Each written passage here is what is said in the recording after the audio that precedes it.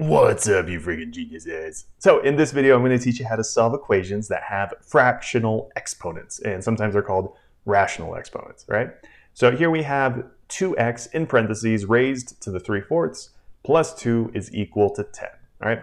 So we're just trying to solve for x here, right? So we want to isolate that. So the first thing we can do is get rid of this plus 2 by subtracting 2 from both sides, all right? So then we're left with 2x raised to the 3 fourths is equal to 8, right?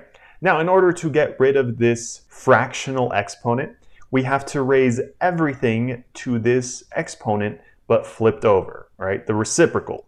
So to get rid of this exponent, we need to raise the whole thing, this whole side, to the 4 thirds power.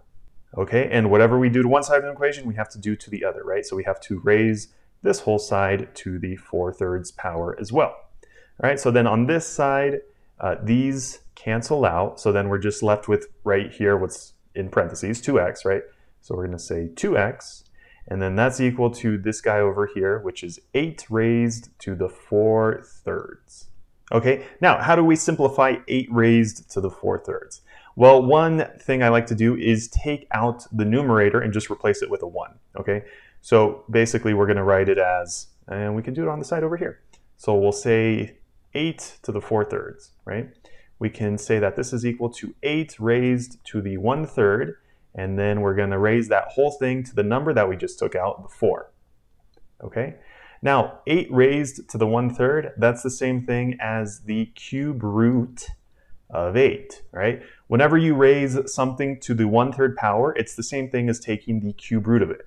Whenever you raise something to the 1 half power, or just half power, that's the same thing as taking the square root of a number. If you raise something to the 1 fourth power, it's the same thing as taking the fourth root of a number, right? 1 fifth is the same thing as the fifth root, and so on.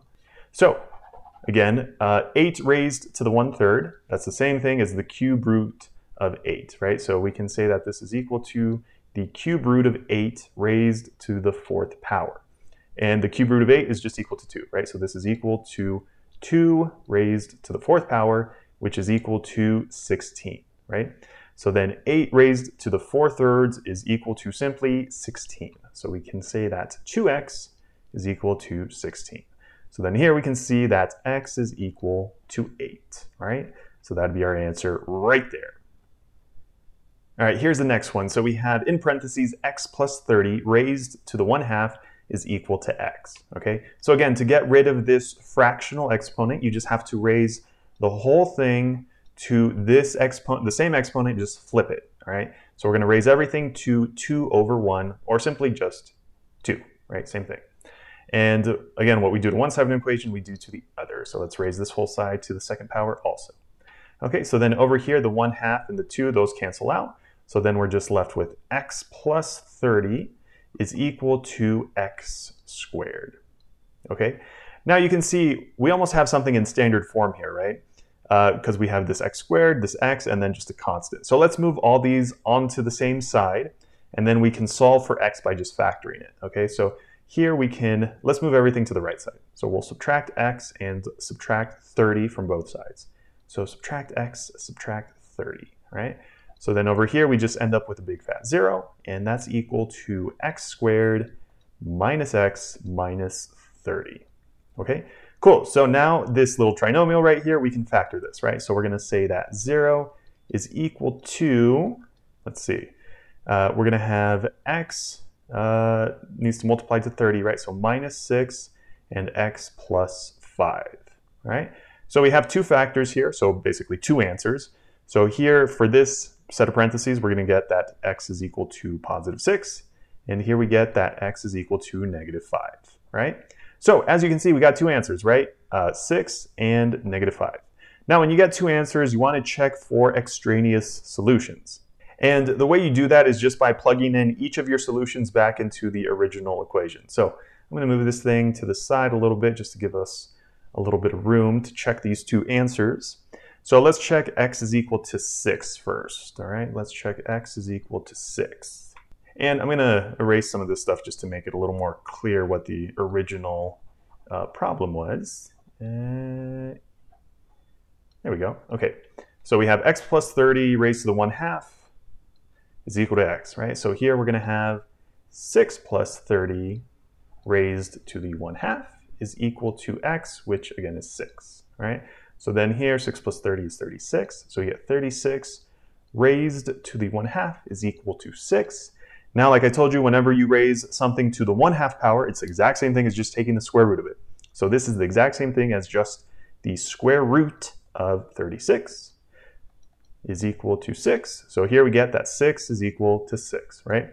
Obviously a true statement, so that means this solution that we tested, x is equal to 6, is a real solution. It is a true solution, right? So now let's check our other solution, see if that one is extraneous or not. So this one is x is equal to negative 5, right? So let's plug in x is equal to negative 5 right here. So we're going to get that negative 5 plus 30 raised to the 1 half is equal to negative 5. Right here we get, uh, looks like 25, right? So 25 raised to the 1 half is equal to negative 5. Here, again, this is the same thing as just the square root of 25. So that's equal to negative 5. And the square root of 25 is equal to positive 5. Okay, so 5 is not equal to negative 5, right? And just to be clear, uh, whenever you're solving for the square root of just a regular number, you're specifically just looking for the principal root, just the positive answer, all right? So that's why negative 5 is not a solution in this case. Okay, so since x is equal to negative 5 is not a solution, right, it doesn't work in our equation, that means that this one is extraneous. I'll write it real quick. Extraneous. Okay, so that just means it's not really a solution. All right, last one here. So we have 2 times, in parentheses, x plus 11 raised to the 1 half is equal to x plus 3, right? Now, this one's going to be a little bit different. So uh, first, to get rid of this 1 half uh, power, we need to raise the whole side, again, to this exact same power, just flip it, right? So 2 over 1, again, is just 2. And what we do to one side, we do to the other, right? So we have to apply it to this side also.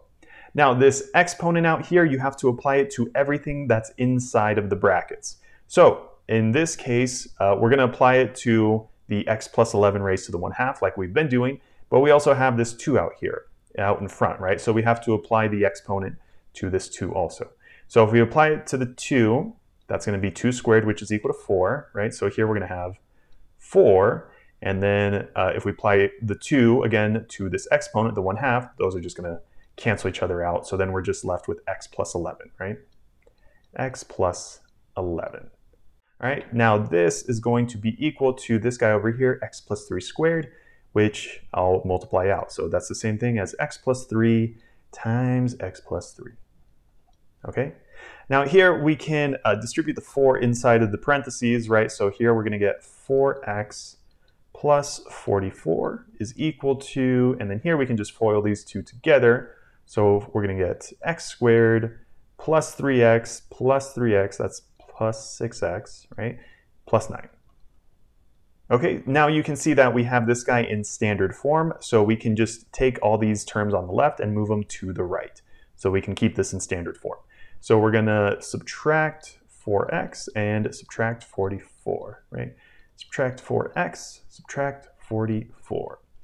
Those guys cancel out, so then we're left with 0 is equal to x squared uh, plus 2x minus 35, right? So then here we get that 0 is equal to this guy, so we can factor this guy, right?